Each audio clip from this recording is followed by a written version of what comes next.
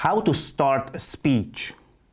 A bad start can really ruin your chances of connecting with the audience and getting your messages across. Let's see first how usually a presentation starts.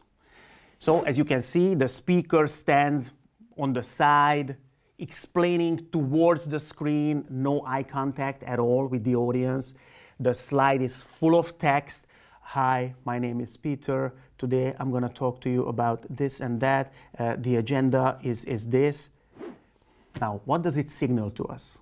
Actually, by being a slideshow commentator standing on the side, you, you send the message that the speaker is, is not very important. The slides are important.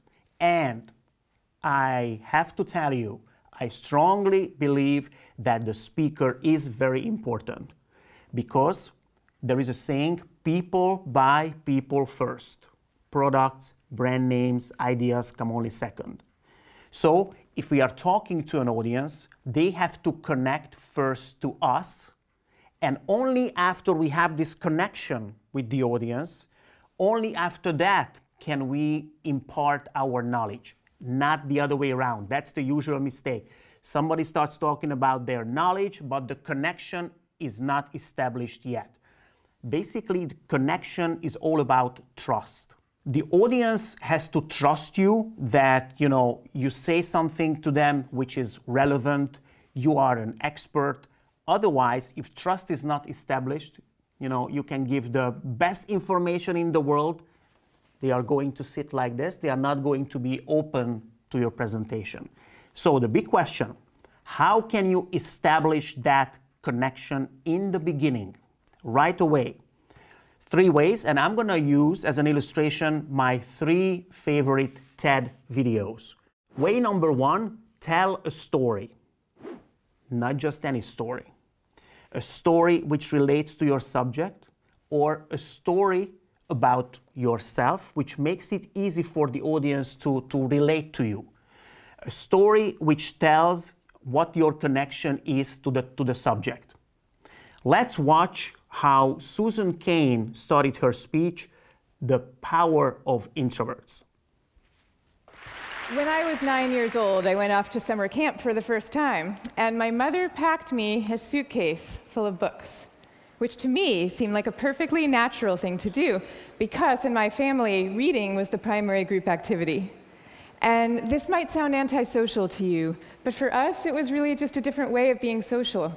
You had the animal warmth of your family sitting right next to you, but you were also free to go roaming around the adventure land inside your own mind. And I had this idea that camp was going to be just like this, but better. And then she went on to argue that introverts bring extraordinary talents and abilities to the world and should be encouraged and celebrated.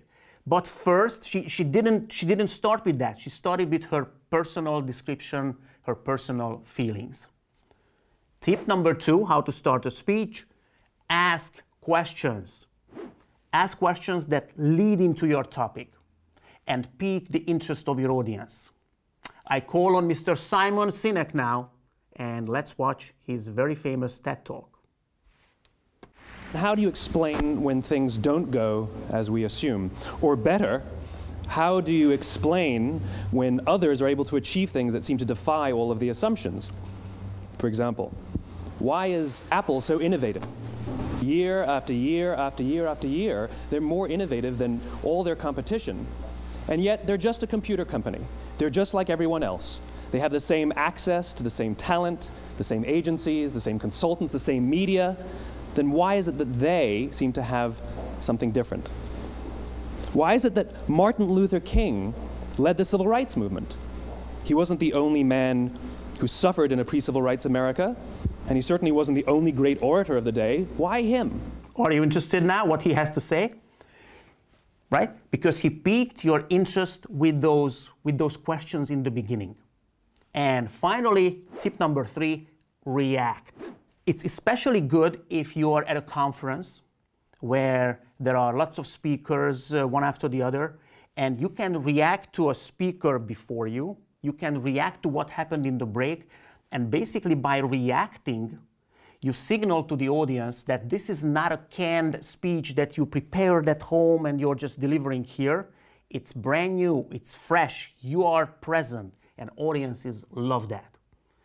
To demonstrate that, Mr. Ken Robinson, actually, Sir Ken Robinson, with the most watched TED video of all time, over 50 million views. Let's see how he started. There have been three themes, haven't there, running through the conference, um, which are re relevant to what I want to talk about. One is the extraordinary evidence of human creativity in all of the presentations that we've had and, and in all the people here. Uh, just the, you know, the, variety of it and the range of it. Uh, the second is that it's put us in a place where we have no idea what's going to happen uh, in terms of the future. No idea how this may play out. Uh, I have an interest in education. Uh, actually, what I find is everybody has an interest in education. Don't you? I find this very interesting. If you're at a dinner party and you say you work in education, actually, you're not often at dinner parties, frankly. if, I highly recommend you to watch all these three TED videos. The links will be in the description. So next time you have a presentation, try one of these ways to get started and let me know how it went in the comments below. Thank you for watching. Please subscribe to my channel and good luck with the presentations.